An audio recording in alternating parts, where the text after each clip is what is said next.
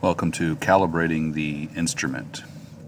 To calibrate the instrument, simply go down to the bottom left clipboard and click on Calibrate Instrument.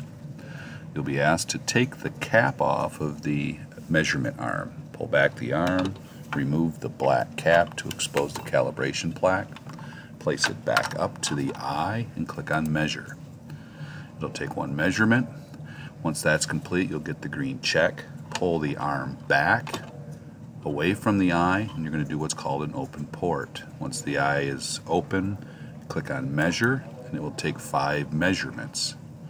Once that's complete, you'll place the cap back onto the instrument calibration plaque and you'll measure the black cap. That's to ensure that the calibration plaque is protected. Once those three steps are done, you'll hit close and now you'll be able to measure your instrument.